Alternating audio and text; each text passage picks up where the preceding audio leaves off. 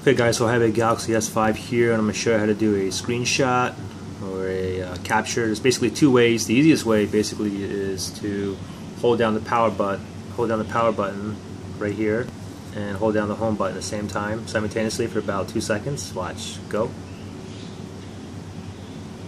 And you can see the little flash there. Actually, if you have your volume on, you should be able to hear the shutter. I'll do it again. One, two, go.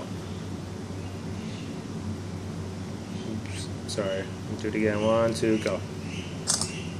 Just like that. So pretty much anything, even if you have, uh, I'm just reading this here, and you want to take a pic, you want to take a screenshot of this and send it to a friend. Again, power button and home button hold down simultaneously, and you can see it says saving screenshot. Then if you swipe down, you can see it's right here, and you can edit uh, you can share if you click on share you can send it to like your Facebook or like Instagram. Also it's always by default it's going to be inside of your um, your screenshot folder so if you go into like your gallery. And you can see right here screenshots. And you can see all my screenshots I have on here.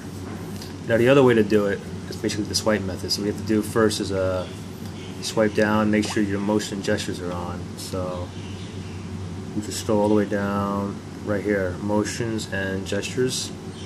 Click on that and the last one here says palm swipe to capture. And make sure it's on. And it's basically you can swipe from left to right or right to left.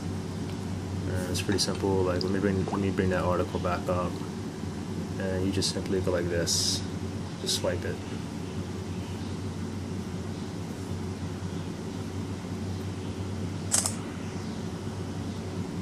see it's like saving there. I'll do it again. Let's let's go here.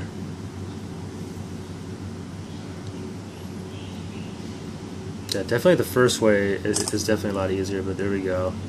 And I could just swipe down and I could just click on that. And then here it is. And then from here, same thing again, you can go ahead and